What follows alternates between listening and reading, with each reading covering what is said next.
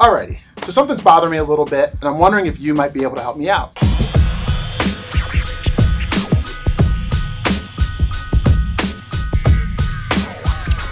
So recently I had a chance to speak to a bunch of kids here in the city of Philadelphia who are on the right path, but uh, could very easily go on the wrong path. So it was a great opportunity. And I was the opening speaker. So I went and talked to them a little bit about, not how I grew up, because I grew up just fine. Um, I talked about how my dad grew up in the inner city, you know, drug addicted parents, didn't meet his father, all that stuff.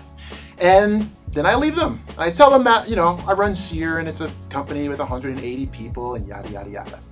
So then after a couple of the kids go up and show off their projects, another speaker comes up. And this speaker is a lawyer and she says, you know, I went from making $2 an hour to $200 an hour or whatever she said. Um, and the audience was like, yeah, girl, yeah, girl, you know, and I was like, it wasn't that I got shown up so much as it's like she connected with those kids in that audience better than I did.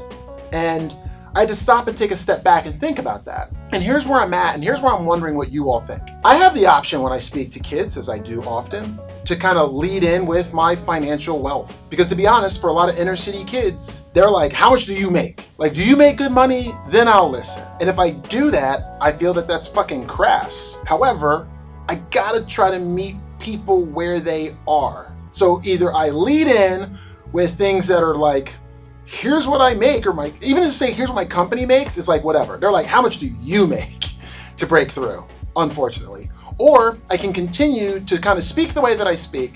Um, without bringing those things up because I do think it's crass and maybe just not connect as much with the audience and with those kids. And I'm trying to figure out the best way to open their eyes to the rest of what I have to say and open their ears.